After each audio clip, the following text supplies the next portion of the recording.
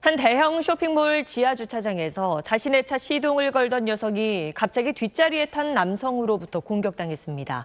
처음 보는 남성이 휘두른 흉기에 여성은 크게 다쳤고 용의자인 40대 남성은 인근 야산에서 숨진 채 발견됐습니다. 홍영재 기자의 단독 보도입니다. 그젯밤 경기도 이천의 한 대형 쇼핑몰 지하 주차장. 갑자기 차 안에서 비명이 들립니다.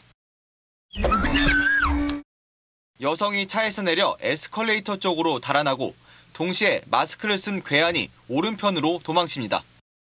차 타고 시동 걸어놓고 가려고 하는데 뒷좌석에 모르는 사람이 타가지고 그냥 보자마자 누구세요 이랬죠.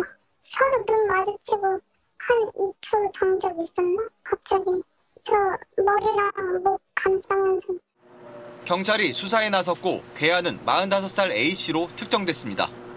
CCTV 분석 결과 A씨는 범행 30분 전쯤 자신의 차량을 지하 주차장에 댔고 퇴근하는 여성을 따라 움직이기 시작했습니다. 피해자를 뒤쫓던 A씨는 피해자가 차에 타는 순간을 노려 자신도 함께 차량 뒷좌석에 탑승했습니다. 흉기의 복부를 수차례 찔린 피해 여성은 보안 요원의 도움으로 병원으로 옮겨져 긴급 수술을 받았습니다. 제가 계속 나가려고 안간이 있었죠. 저한테 앙심이 있어서 그런 건가 생각했는데 아무리 봐도 처음 보는 사람이고 A씨를 추적한 경찰은 어제 새벽 이천시의 한 골목길에서 A씨가 버리고 간 차량을 발견했습니다. 이후 오후 4시 반쯤 한 등산객의 신고로 야산에서 숨진 A씨를 발견했습니다.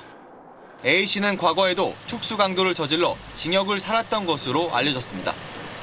경찰은 A씨의 범행 동기를 추정할 만한 자료들이 남아있지 않다며 A씨가 숨진 만큼 공소권 없음으로 사건을 종결할 방침입니다.